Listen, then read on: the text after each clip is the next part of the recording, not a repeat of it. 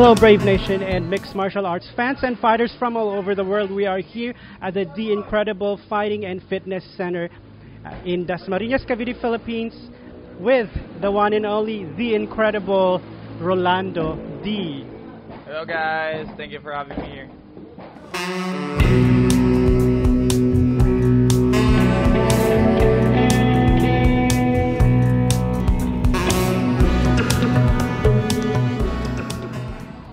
Because first they're five hours away from my hometown, from my from Cavite where I live, and it's it's better to go go there than to go outside the country. I was thinking of going to AKA Tiger Muay Thai to train for a month. For a month, yeah, I was thinking, but but I can't leave my my wife eh, and my daughter like like like my wife is doing a very very hard job uh, you know uh, tiring mentally tiring job.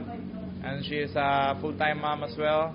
And we have a lot of dogs so I was thinking if I'll go to I go to Thailand for a month it will be it will be very unfair for my wife. But she's okay with it. But I said I'll just prepare here in my team. Then in my in last two weeks before my fight, I will go to Lakay to do uh, to to do hard training and sparring, and just finish the last remaining last remaining days of my camp here. Yeah, I think I think I won my last I, I won the fight in in in Bahrain against against top fighters like Magic Man and against what's the, what's the name Brewin John Brewin who came from a very strong team with my training buddies here only in my gym with my students only so I think it will be a great help and big difference if I will train with with the Warriors of Baguio, the Lakay, where they are the best team not only in not only in Philippines but in the world. They are one of the best. And I I learned that and I realized that when the UFC fighter came to one.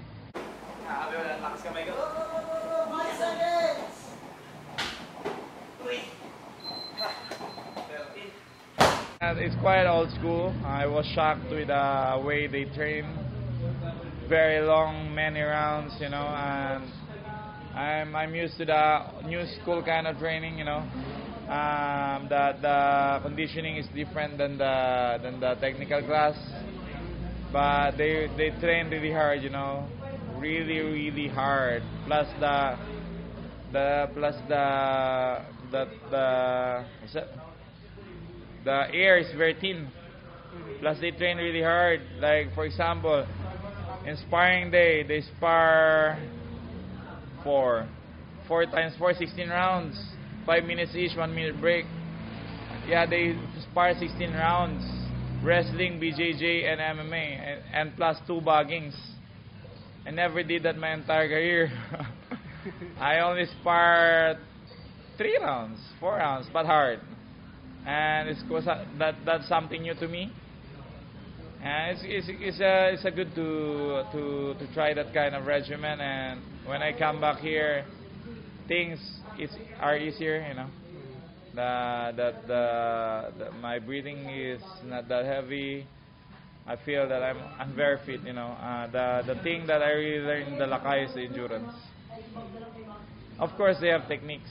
I have techniques too, but you know they don't get tired. They don't really get. They don't really get tired. They can work out for three hours with the same pace, and I, I that's that's quite of superhuman shit, you know. They're, so, they're superhumans, the Lakas. Yeah.